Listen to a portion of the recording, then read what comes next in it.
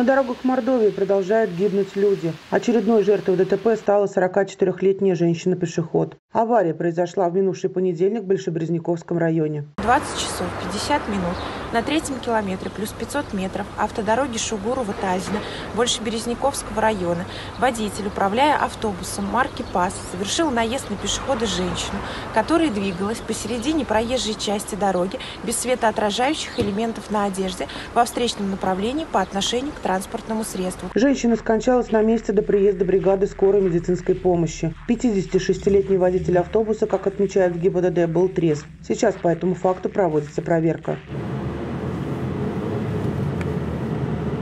В этот же день еще одно ДТП произошло в Саранске. Около 8 часов утра на улице Севастопольская 23-летняя автоледи, управляя «Шевроле Кросс», не обеспечила безопасную скорость движения, не справилась с управлением и выехала на встречку, после чего столкнулась с «Тойотой Камри». Помощь врачей понадобилась только автоледи. Оба участника ДТП были трезвы.